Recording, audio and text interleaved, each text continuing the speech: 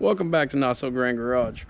Today we're out here in the uh, light drizzle and cold uh, to tinker around with the old Mercedes. Uh, we're going to throw together a simple water meth kit out of parts and pieces that I had laying around in the shop. So uh, let's get going.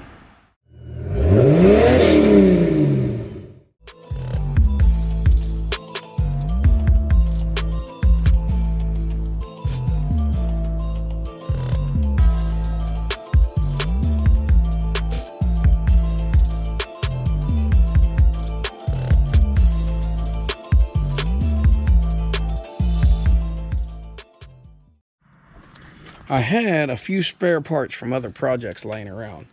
I've got a Devil's Own one gallon per minute high pressure pump. I've got their nozzle and quick release, which this is a 10, I think, liter per minute nozzle. I'm going to swap this out for a three that I've also got laying in the shop. And I've got some extra tubing, which is up here. And I've got a check valve somewhere. So, basically, I'm going to drill the side of this tank here, run this tubing down into the bottom, and just make it simple. Uh, I'm not looking for performance. Mainly, this is to help us along on our adventure in alternative fuel on this car. Uh, right now, it does not have two fuel tanks in it, which is typically what I like to do. But uh, we're going to give this a shot and see how it does. Right now, I run it on about a 50-50 blend of our mix. So, uh, and it, it, can get a little hazy after a while. So we're gonna throw water at it and see if that cleans it up, which I've had good luck with that in the past, and I think it'll do the trick here. So we'll see. So we're gonna do this a down and dirty way. This tank here still holds washer fluid, and, but the pump is bad, and none of that system works on this car anyways. So I've drilled a small hole on this side I'm going to fish this tubing down in through to the bottom corner over here. Now, I'm going to use a little trick that I've learned. I'm going to cut a little crown in this tubing so it can't suck against the wall or the floor of the tank. That way it'll always be able to pull fluid up. And there we go. As you can see, I've cut a few triangle shaped notches out of the end of the tubing. And now, no matter what, it can always suck fluid through the sides of the tube. So I'm gonna fish this down through this hole over here, fish it down into this bottom corner, and uh, go on and route it to where my pump's gonna be located. Okay, we've got our tubing routed through here, through the side of the tank, and if you can see down in there, down in that bottom corner, which is submerged should work pretty well. I'm going to run this tubing down along this cable here down to where I'm going to mount the pump right here. Here's a little test fire of a 10 liter per hour or liter per minute nozzle. I'm not quite sure what it's rated at. It's been a long time since I got it, but uh, yeah. Yeah, that might be a bit excessive, but uh, we'll see what happens.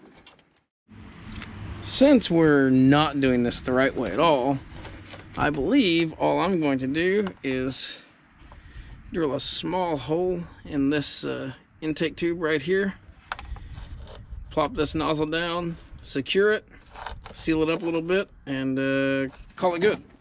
That's going to spray the water methanol mix pre-turbo, which will cool the air charge and hopefully get the cleaning effect we're after. Well, there we go. I drilled a small hole in the elbow and put a little uh, RTV on the nozzle. Just threaded it into the plastic and it is secure. It's not going anywhere. So, that should work. All I have to do is uh, get rid of this little test wire here and run a switch for it. I'll probably use just a push button because, uh, yeah, I'm not looking to use this for power.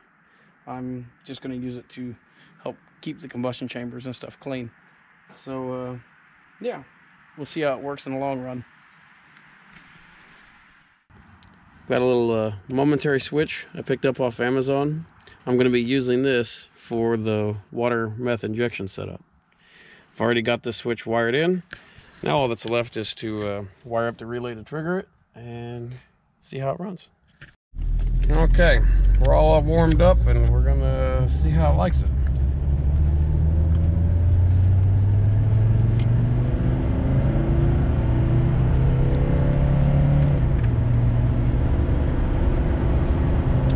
Doesn't seem to hate it. No stumbles, no misfires, nothing weird going on. I got a four gallon per hour nozzle in it right now and uh, no methanol, so it's not pulling real hard, but it's got a, getting mostly water. But uh, yeah, excuse the horn. Kind of hard to do this uh, one-handed, but yeah, we'll uh, take it for a little spirited drive right quick and see how it does. After a good run, spraying it down at uh, four gallons per hour, I don't see haze that's visible anymore.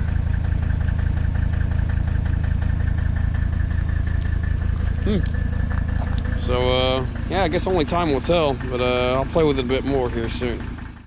Well, after a little bit of testing with the uh, basically straight distilled water injection, four gallon per hour nozzle, seems to, uh, I like it a little bit. So, uh, I'll put a little winter blend uh, windshield washer fluid in it and see how the methanol uh, picks it up. But wasn't really doing it for power, was doing it more for cleaning. And so far, it looks like it's going to do its job.